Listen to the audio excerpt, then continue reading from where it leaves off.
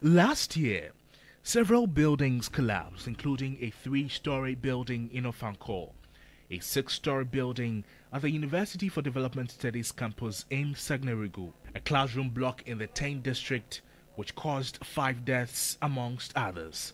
According to the Ghana Engineering Council, engineers who fail to adhere to building standards will be sanctioned. If the individuals are found culpable, we can suspend their licenses. We can also revoke their licenses completely if we think that what they've done is so serious that, you know, and then we can also uh, fine them.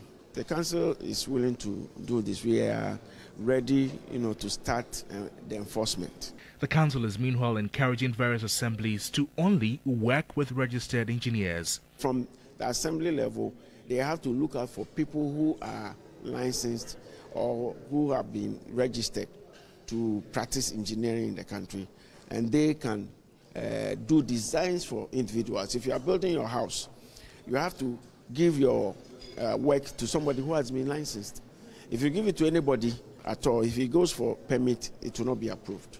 For his part, board chairman of the Engineering Council Ghana, Engineer Dr. Kwame Boakye said Ghana is not fully utilizing its engineers. No nation can develop without engineering. Ghana and Africa in general, we are going nowhere without engineering. We are not making the most use of engineering. You know, contrast us with China. China is using engineering at every level. And in fact, it is not just people doing design and so on. See, by the nature of the training of, you know, engineering, you're, you're trying to solve problems. The breakfast meeting brought together engineering stakeholders from state agencies and the private sector to discuss and push for the engineering agenda.